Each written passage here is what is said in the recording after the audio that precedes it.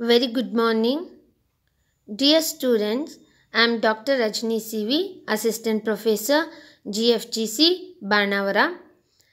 Um, dear students, I just want to uh, confess one thing that I didn't meet you face to face because I joined the college in the month of May 2020 because of pandemic and all classes were suspended then and now um, the government has allowed only final year students to attend the regular classes and first year and second year students are uh, told to attend online classes. So i'm um, meeting you virtually. Uh, we are very fortunate that we have some alternative ways to uh, meet and alternative ways to uh, get familiar familiarize each other. So uh, this is the, my first video and i'm talking to you for the first time. Uh, hello uh, everyone. Bcom second year students third semester students. Uh, you have been prescribed uh, the novel the financial expert. Uh, the university of mysore has pres- prescribed the financial expert a novel written by rk narayan a very well known indian writer in english. Um, today i just wanted to uh, introduce the novel and the characters in the novel and i just want to tell you the backdrop uh, background of the novel uh, i hope you all know about uh, the writer rk narayan he is very famous for our kannada people uh, because of shankar nag who um, uh, shot a teleserial uh, based on the uh, novels of uh, R.K. Malgudi Days if you remember Malgudi Days ಅನ್ನೋ ಒಂದು ಕಾದಂಬರಿಯನ್ನು ಆಧಾರವಾಗಿಟ್ಕೊಂಡು ನಮ್ಮ ಶಂಕರ್ ನಾಗ್ ಅವರು ಒಂದು tele ಸೀರಿಯಲ್ನ shoot ಮಾಡಿದರು. ಆಗ ತೊಂಬತ್ತರಲ್ಲಿ ಸಾವಿರದ ಒಂಬೈನೂರ ತೊಂಬತ್ತನೇ ಇಸ್ವಿಯಲ್ಲಿ ತೊಂಬತ್ತರ ದಶಕದಲ್ಲಿ ಅಂತ ಹೇಳಿದ್ರೆ ಸರಿ ಹೋಗುತ್ತೆ ಅಂತ ಅಂದ್ಕೊಳ್ತಾನೆ. And uh, R.K. Narayan is very near to us because he resided in Mysore and even today his uh, residential home is turned into museum and all. And recently our Karnataka government has named Malgudi uh, railway station to, station to Arslu railway station on the way to um, Hosnagra. From Shumoga to Hosnagra we find that uh, railway station.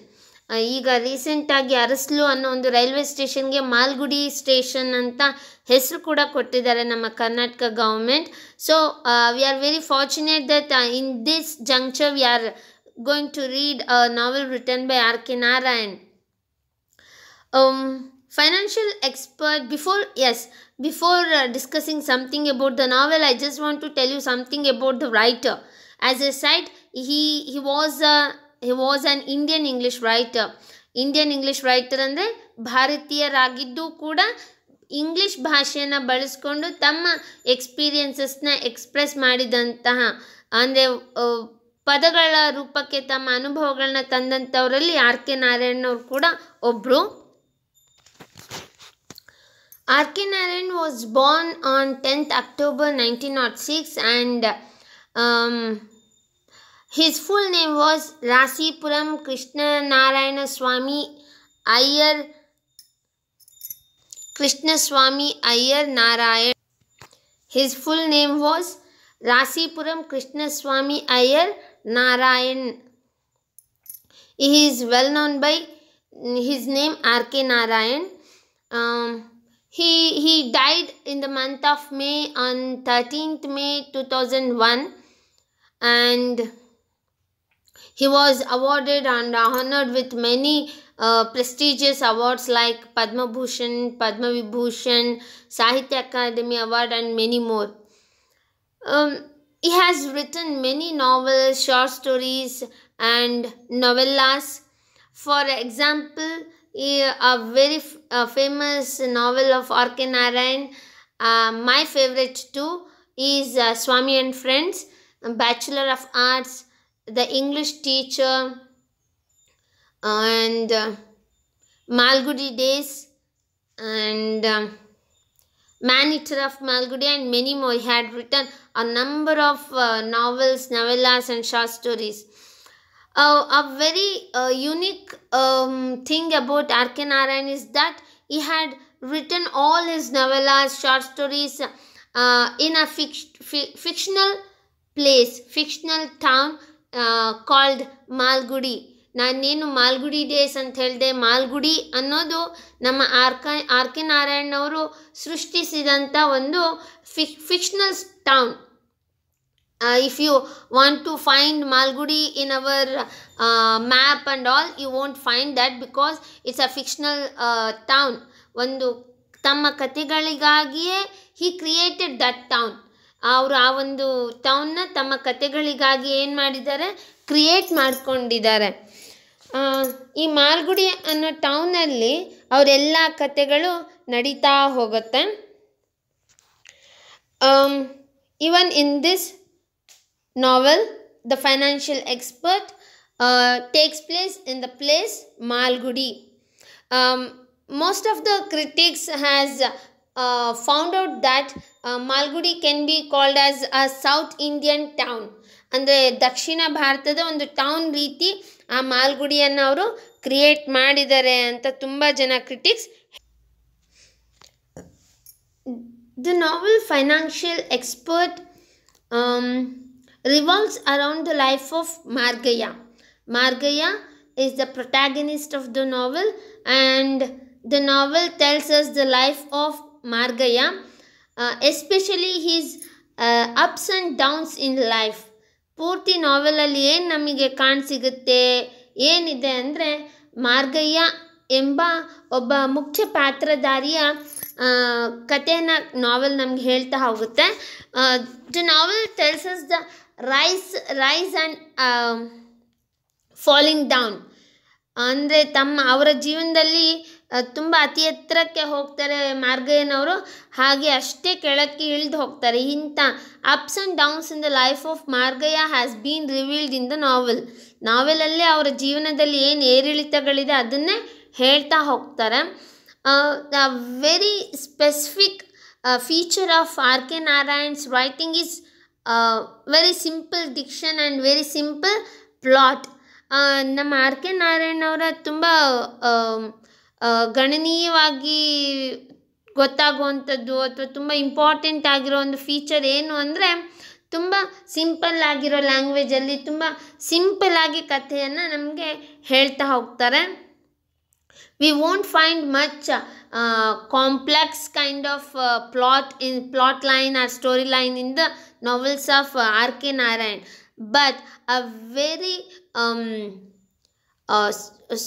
ಏನು ಅವರ ಕತೆಗಳು ತುಂಬ simple story line ಇರುತ್ತೆ, ನೇರವಾಗಿ ಕತೆನ ಹೇಳ್ತಾ ಹೋಗ್ತಾರೆ. ಆದರೆ the sensitive human feelings human behaviour human ನೇಚರ್ನ ಅವ್ರು ತುಂಬ ಚೆನ್ನಾಗಿ ಹೇಳ್ತಾ ಹೋಗ್ತಾರೆ. ಮಾನವೀಯ ಸಂಬಂಧಗಳು, ಮಾನವೀಯ ಮೌಲ್ಯ ಮನುಷ್ಯನ ಹಲವಾರು ಫೇಸಸ್ ಆಫ್ ಹ್ಯೂಮನ್ ಬೀಯಿಂಗ್ಸ್ ಅಂತ ಏನು ಹೇಳ್ತೇವೆ? ಹಿ ರಿವಿಲ್ಸ್ ವೆರಿ ವೆಲ್ ಅದನ್ನು ತುಂಬ ಚೆನ್ನಾಗಿ ನಮ್ಮ ಆರ್ ಕೆ ನಾರಾಯಣ್ ಅವರು ಹೇಳ್ತಾ ಹೋಗ್ತಾರೆ. ಮಾರ್ಗಯ್ಯ, ಹೆಸರು ತುಂಬ ವಿಚಿತ್ರವಾಗಿದೆ ಅಂತ ಅನಿಸುತ್ತೆ ಅಲ್ವಾ? As the novel opens with explaining the name Margayya. The protagonist got this name it this is not a name given by his parents Margayya ಅನ್ನೋ ಹೆಸರನ್ನ ನಮ್ಮ ಪ್ರೊಟ್ಯಾಗನಿಸ್ಟ್ಗೆ ಅವ್ರ ತಂದೆ ತಾಯಿ ಕೊಟ್ಟಿರೋ ಹೆಸರಲ್ಲ.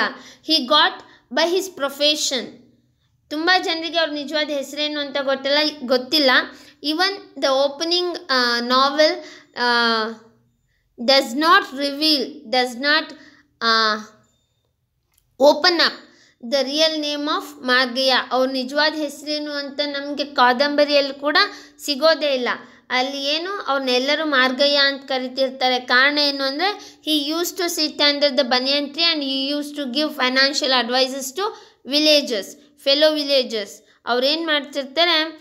ಒಂದು ರಸ್ತೆಯಲ್ಲಿ ಒಂದು ದೊಡ್ಡ ಆಲದ ಮರ ಇರುತ್ತೆ. ಆ ಆಲದ ಮರಗ, ಮರದ ಕೆಳಗಡೆ ಕೂತ್ಕೊಂಡು financial ಅಡ್ವೈಸಸ್ನ he sits in front of opposite of a bank ಒಂದು ಬ್ಯಾಂಕ್ನ ಮುಂದೆ ಕುತ್ಕೊಂಡು ತಮ್ಮ ಹಳ್ಳಿಯ ಜನರಿಗೆ, ತನಗೆ ಪರಿಚಯ ಇರೋರಿಗೆ, ಅಲ್ಲಿ ಬಂದು ಹೋಗೋ ಎಲ್ಲರಿಗೂ ಫೈನಾನ್ಷಿಯಲ್ ಅಡ್ವೈಸಸ್ನ ಹಣಕಾಸಿನ ಸಜೆಷನ್ಸ್ನ ಕೊಡ್ತಾ ಇರ್ತಾರೆ.